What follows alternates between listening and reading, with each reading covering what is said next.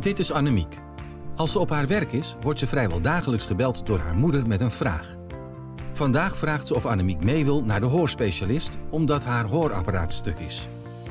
Meestal belooft Annemiek dit dezelfde dag nog te doen.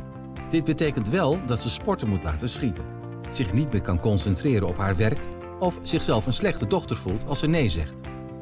Wat doe jij in zo'n situatie? Laat je alles gelijk uit handen vallen of denk je eerst even na?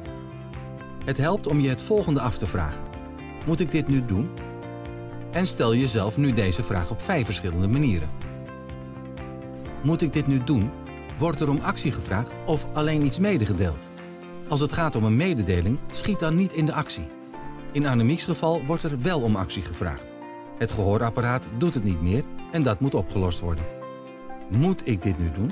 Is actie noodzakelijk of vooral zeer gewenst? Het gehoorapparaat werkt niet goed, er moet wel iets gebeuren.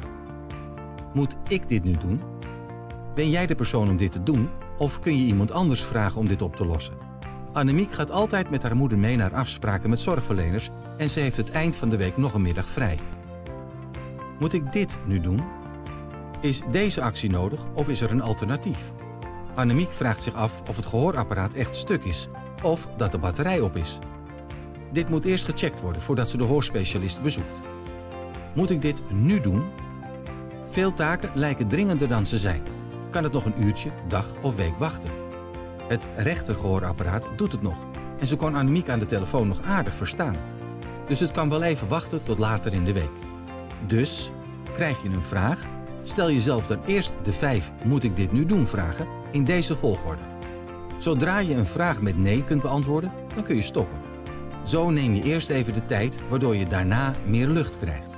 Zo houd je overzicht en stel je de juiste prioriteit. Hou het niet voor jezelf, praat erover. Kijk op mantelzorg.nl voor meer tips en praktische informatie. Of bel met de mantelzorglijn. Mantelzorg NL is er voor jou.